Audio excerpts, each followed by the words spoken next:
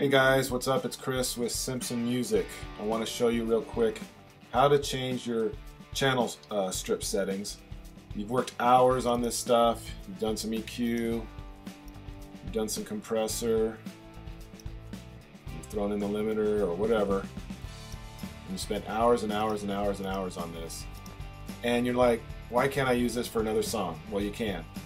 You go over here to setting, save channel strip setting as, name it, boom, next time it's there, I call mine master out, and boom, done. That's it. See ya.